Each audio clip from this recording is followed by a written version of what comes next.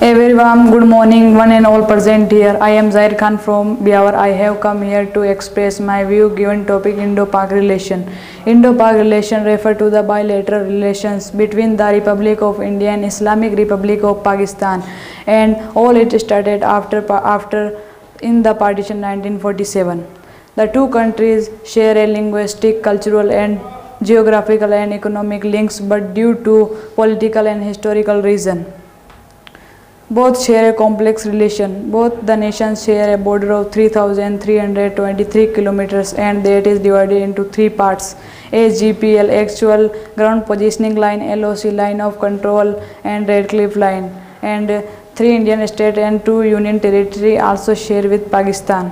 Both the nations share a complex relation since the partition due to due to Pakistan philosophy of terrorism support to cross border and uh, terrorism proxy war and old obsession with, with Kashmir.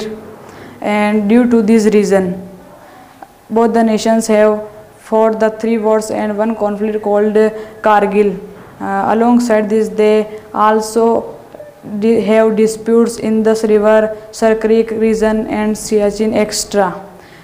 To bring peace in the region both the nations signed an agreement and called Shimla agreement Shimla Agreement in 1972 uh, for truce and bilateral talks, but due to Pakistan, Pakistan's obsession with uh, many ex many time examples uh, conflict Kargil, Uri attack, Pulwama, and uh, recent drone attack on airbase of Jammu Kashmir.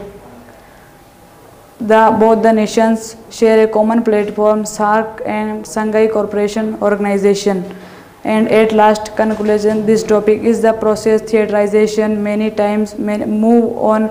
Next step next step. Thank you